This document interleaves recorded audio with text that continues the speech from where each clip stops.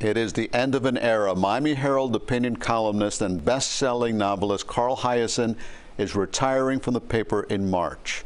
Hiaasen has been at the Herald for 35 years and is best known for his wit and satire in his weekly opinion column.